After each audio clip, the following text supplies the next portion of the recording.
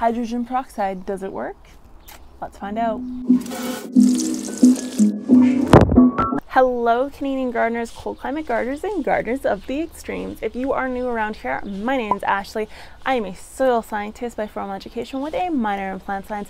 And on this channel, we take that science and we actually apply it to the garden and plant care tips.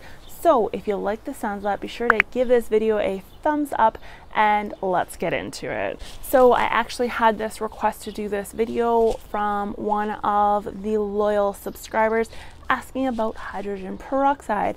So here is your answer. Hydrogen peroxide is obviously something you can buy in the medical section of your grocery store and it is literally hydrogen peroxide. Theory is that it can be used for fungal, bacterial, and also as an insecticide on your plant leaves. Now, the truth for when it comes to hydrogen peroxide is that it is very quickly degraded. So if you leave the cap off or if you expose it to too much air, it quickly degrades and disappears. That means when it's being used for something like a fungal or a bacterial infection, the likelihood of it doing anything is very low because it can't stay on the plant's cuticle and then permeate to its epidermis long enough to actually make an effect. So, because we're trying to get into that cuticle and then treat the infection which is located in the epidermis mesophyll area, we hydrogen peroxide is not effective in this sense.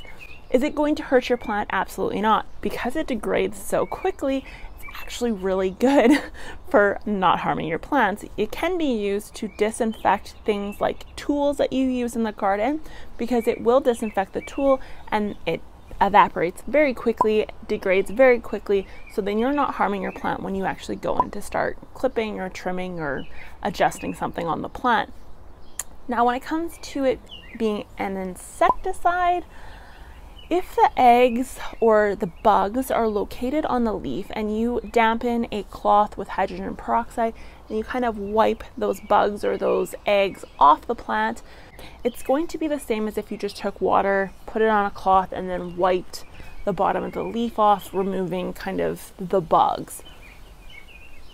Something that's going to be a little bit more effective for you is actually a wet cloth with a little bit of dish soap on it, not much. You do not want to coat the leaf with an outer dish soap layer and then just wipe those leaves off very lightly with kind of a dish soap water mixture. This is going to be more effective because A, it is going to sanitize the bugs and the eggs that are present, but it's also going to leave kind of a film on the leaf, which will then in turn kind of be a deflection for the bug because their legs and stuff, they won't want to climb on the leaf itself. So that is probably more effective than using hydrogen peroxide on the leaf. Can you use hydrogen peroxide? Yes, absolutely. Will it work? Probably in some cases it will. Is it going to hurt anything? Absolutely not. So the hydrogen peroxide hack is debunked-ish. It's going to work great for your tools. It's probably not going to treat much in regards to the leaves of the plant. You're better with a dish soap water mixture, but other than that, that's all I have to say about hydrogen peroxide.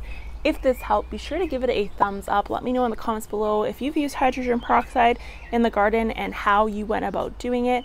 And as always, be sure to subscribe if you want more videos like this and share the video with someone you love if they're interested in plant garden, plant science, and all that fun stuff.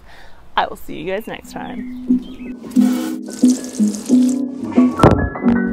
Oh, hey there, are you still watching? Make sure to hit that subscribe button for some more awesome fun.